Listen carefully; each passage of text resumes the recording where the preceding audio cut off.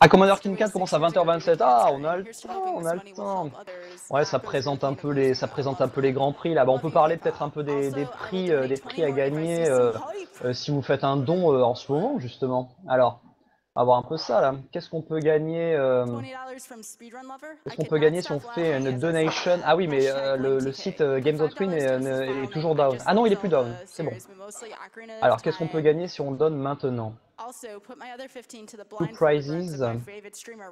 Sur Commander King, vous pouvez gagner. euh, Alors, si vous donnez pendant le segment Commander King, ah c'est cool, vous pouvez gagner ouais le blaster, euh, un, un vrai, euh, une réplique euh, du, euh, du blaster de Commander King. Enfin, je crois.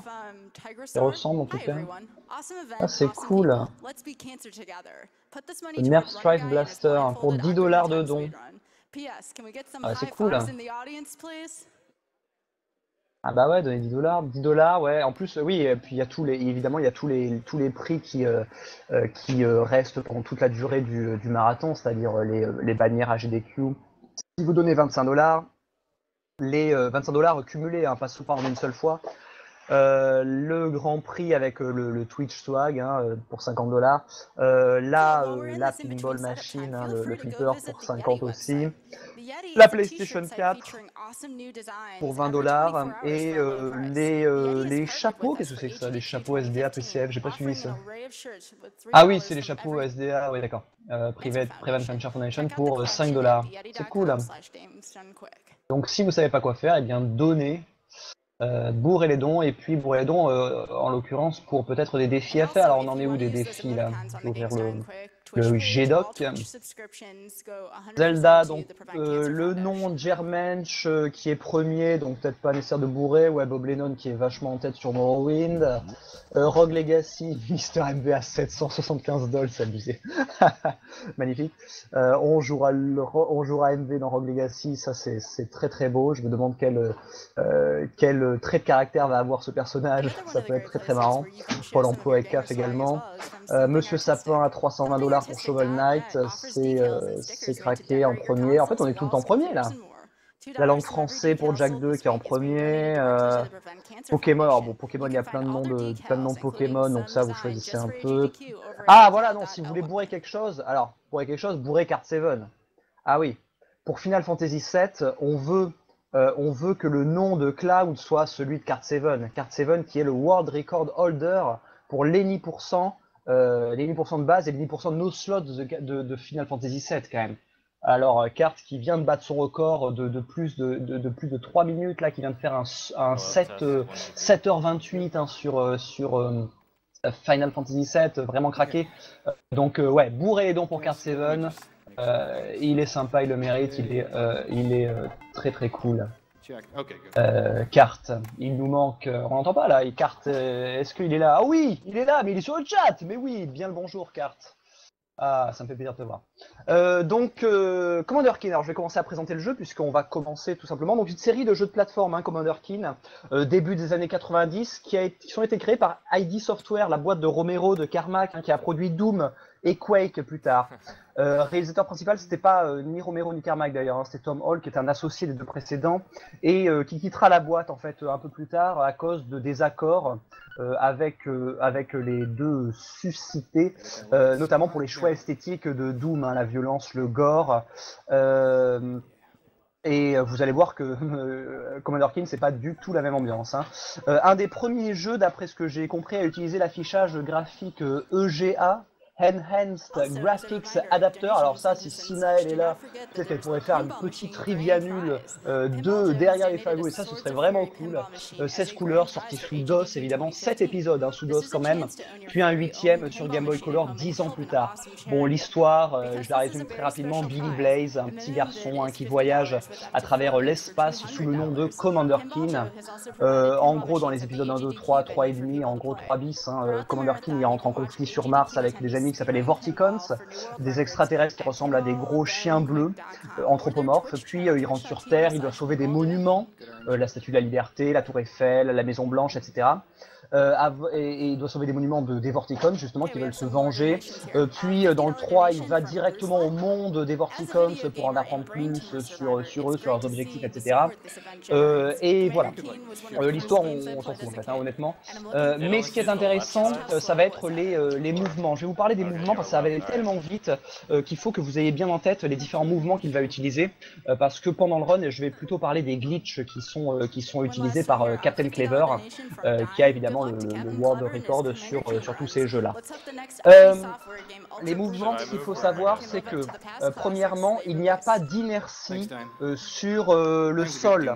C'est-à-dire que Commander Keen atteint immédiatement sa vitesse maximale lorsqu'il se déplace sur le sol. Donc, en tout et pour tout, on ne va sauter que quand c'est euh, quand c'est absolument nécessaire, parce que quand on saute, en revanche, eh bien, euh, les sauts doivent construire la vitesse, d'accord? Et ils ne passent pas immédiatement en vitesse maximale. Donc, tant qu'on peut, on va rester uh, sur euh, euh, la, euh, le, uh, le, Pardon, il vient de commencer, donc ça m'a perturbé complètement. on commence. version 1.0 hein, de ce jeu, on, met les cycles au max pour, pour raccourcir les loading times. donc on fait des sauts dans ce petit border village pour éviter les montées, les pentes. Hein. puis on utilise notre pogo, ça doit vous rappeler évidemment le pogo de DuckTales, pour éviter le plus possible les ennemis. On va utiliser ici eh bien, un glitch, un premier glitch. On se fait toucher par la, euh, par l'espèce de slug, et en fait, euh, quand on, euh, quand on se fait toucher par ce slug là, on fait et qu'on fait save reload en, en tombant euh, de, de, cette, de, dans cette mort, et eh bien ça permet de quitter un niveau sans être considéré comme mort. Parce que le trigger de sortie du niveau est très très permissif, et donc c'est un OOB, hein, un, un, Note of Bounce qui peut gagner une vingtaine de secondes quand même. Euh, sur euh, ce, ce, niveau, donc Miraja, on monte, hein, on monte beaucoup pour aller récupérer tout en haut et voilà l'équipement de plongée qui va permettre de respirer sous l'eau. Il y a des tricks possibles hein, sur des plateformes qui disparaissent parce que seuls en fait certains sprites de Commander Keen répondent à la gravité. Donc parfois on peut rester euh, sur des plateformes qui sont complètement disparues. Ce jeu est un gruyère, il faut le savoir. Hein. Donc là on arrive vraiment dans le premier level vraiment agaçant du jeu parce que la RNG euh, des slugs, des limaces peut vraiment être, euh, vraiment être horrible. Et là il a raté un premier cycle, voilà, raté deux sauts. Hein. Il a raté le premier cycle de ces plateformes noires. Euh, donc euh, euh, le timing du pogo hein, sur cette plateforme noire est assez chaud à prendre et donc on prend la porte, on rentre dans ce, dans ce corridor, on va activer le switch pour récupérer la gemme. En gros l'idée de ce jeu c'est on va récupérer des gemmes pour ouvrir des portes et pour sauver des, anciens, des grands anciens là, des oracles. Bon peu importe. c'est le, but du jeu c'est de sauver les, les 8 oracles. Donc on en a sauvé deux déjà et on va se diriger vers la pyramide, vers une des pyramides qui se trouve en bas du monde, sachant que dans cette pyramide on a une hitbox des ennemis qui peut vraiment vraiment être très étrange, très trollesque. Euh, on va euh, tout simplement prendre les différents switches euh, qui sont obligatoires pour avancer euh, on, euh, on, élimine les slugs, alors on les stun en fait avec, ce, avec notre, notre, petit, notre petit blaster que vous pouvez gagner si vous faites un don, je le rappelle. Euh, les slugs qui peuvent vraiment être trop lestes parce qu'ils peuvent eh bien, laisser une espèce de trace verte sur le sol qui est impossible à passer. Et donc il faut attendre 4 bonnes secondes pour pouvoir passer euh, eh bien c'est euh, slime de, de, de slug euh, dégueulasse. donc on saute, ça va très très vite évidemment, la run est extrêmement optimisée à, un point que cette run est optimisée à un point qu'il y a très très peu de différence entre le TAS et le World Record en, RTA, il faut le savoir. Donc un run extrêmement optimisé, un, runner qui est extrêmement solide aussi, on, voilà, vous voyez on récupère la gemme bleue. Et on arrive. eh bien, au troisième oracle euh, me semble-t-il, oui, on est au troisième oracle et on va se diriger vers euh, la Cave of the Descendants.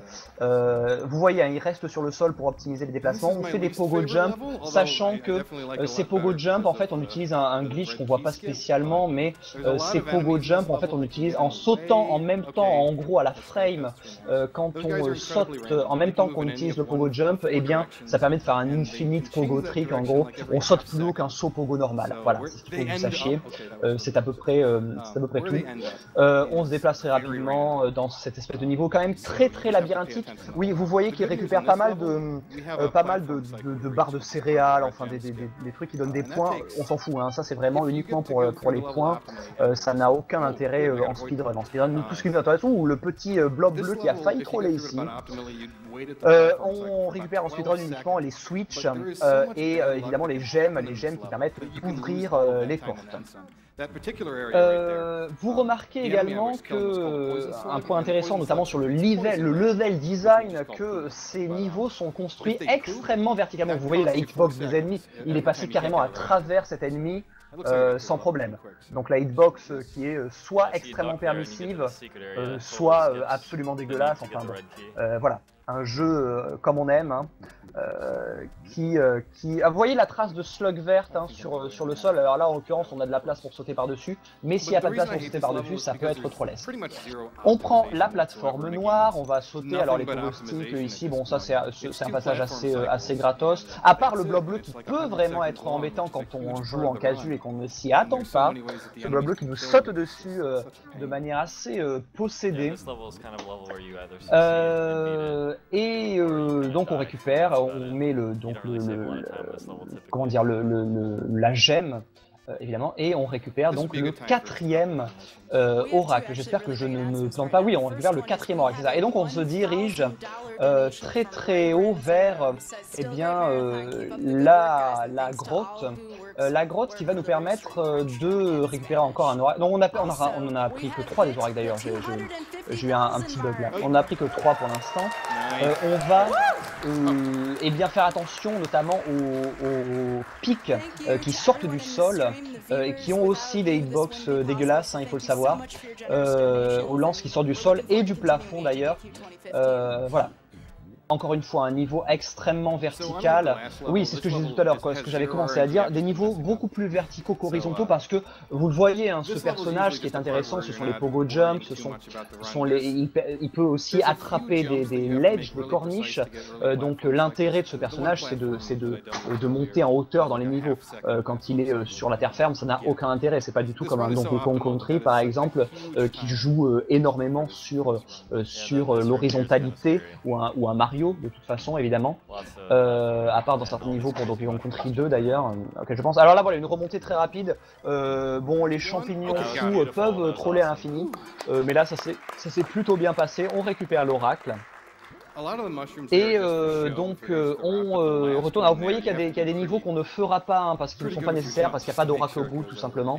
Et donc on arrive dans le Crystallus. Le Crystallus, une zone encore une fois extrêmement verticale. en run, c'est le niveau le plus difficile, hein. le plus difficile à maîtriser. Euh, des euh, cascades qui vont être très impressionnantes, des, des skips d'ennemis, etc. Voilà, on, a attrapé de corniche ici, vous l'avez vu. Il faut vraiment maîtriser dans ce niveau l'exé euh, du pogo et notamment de l'infinite pogo jump. Il faut vraiment le maîtriser à, la, à la perfection, c'est absolument, absolument nécessaire. Euh, on monte sur la gauche, donc on est monté sur la gauche en évitant les chauves-souris, puis euh, les petites plateformes, hein, vous avez vu des petites plateformes extrêmement difficiles à, à optimiser euh, très rapidement. On prend la gemme, on retourne ensuite prendre la gemme rouge qui est sur la gauche, voilà ici, grâce à la gemme jaune qui peut ouvrir la porte. Et puis on va se diriger vers la droite, une longue chute dans ce puits cristallin, et puis ensuite c'est assez gratuit si je me souviens bien, voilà quelques petits sauts, encore une fois ou bien il faut maîtriser tout simplement le, pogo.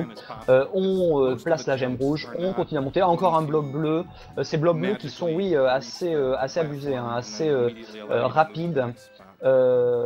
Et, voilà, on a récupéré la dernière gemme qu'il nous fallait, ou le switch, je sais plus. Et on va récupérer, et eh bien, doucement, voilà, on va mettre la gemme bleue, on prend la porte, et on va se diriger vers le cinquième le cinquième oracle, après être passé par-dessus eh bien tous ces ennemis, euh, euh, ces champignons, ces, euh, ces limaces. un niveau qui est assez long, hein, vous le voyez, hein, le Crystallus, un niveau difficile et long. Ensuite, on va arriver dans le Perilous Pit et on va avoir eh bien, le le, gros gros glitch de ce jeu-là, de Commander King 4. Vous allez voir, on va se placer dans un, interstice euh, très, euh, très spécial. On va sauter, on va presser ce switch-là Euh, alors, on va, on va d'abord, on va prendre, on a pris la gemme en bas, on va remonter, voilà, on va la mettre à la gemme ici, on va se replacer, c'est parce que ça ressemblait, c'est pour ça que j'étais un peu confus, voilà. On va se placer ici, avec le champignon qui saute, on va activer le switch quand le champignon saute, ah, et c'est raté, c'est raté, dommage. Dommage. En gros, le glitch, voici ce, qu'il, ce, en quoi, ce en quoi il consiste. On presse le switch lorsque le champignon prend son saut. On passe en dessous, on pogote par-dessus euh, le champignon et on va réussir en fait à clip euh, au travers du euh, plafond. c'est un trick qui est très difficile à sortir, un trick qui a très très peu de marge au niveau des frames. mais qui fait économiser du temps si évidemment on réussit du premier coup. Et voilà, vous le voyez. Voilà. Clip au travers du plafond, on récupère la gemme, et puis on prend la plateforme et puis on va eh bien, libérer tout simplement le cinquième, si je le compte bien, euh, non le sixième oracle, il me semble. Oui, on est déjà au sixième oracle, et donc on va se diriger, euh, voilà, vers, on a, vous savez, on a le, ce qui nous permet de nager, on va se diriger vers, euh, vers les îles du feu, un niveau qui fait un peu peur comme ça, mais en fait qui est qui est un peu ennuyeux en speedrun, hein, parce qu'il n'y a pas, pas trop d'exé demandé. Euh, il est assez rapide, euh, mais vous voyez un bon exemple voilà, d'un niveau plutôt horizontal euh, que vertical, qui est moins intéressant immédiatement.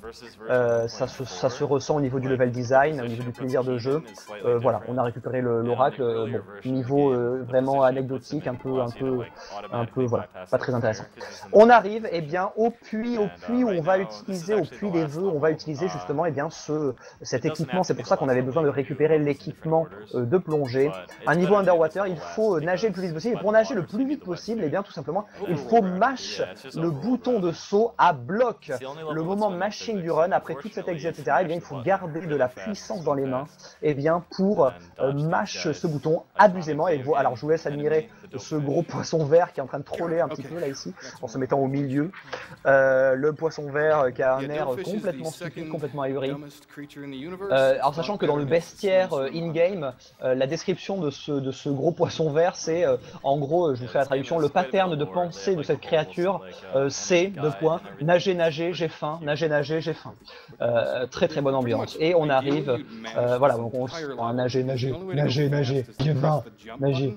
Et donc on arrive, eh bien, au huitième oracle, et time, 11 minutes 13. Euh, évidemment un très bon temps. Alors un très bon temps qui ne, euh, qui ne pour, pour, pour un run comme ça, euh, évidemment en casu on mettrait beaucoup plus de temps. Alors pour lui en revanche c'est un, un run médiocre évidemment puisque son, son world record s'il n'a pas changé depuis le temps est à 10 minutes 12 et sur un run qui dure voilà 10 minutes, ben, une minute évidemment de décalage entre ce run là et le world record c'est c'est très très très important. pensez à ce que signifie une minute dans des runs de 20 minutes genre Super Meat Boy, voilà c'est énorme déjà. Alors ici, c'est encore plus, encore plus important.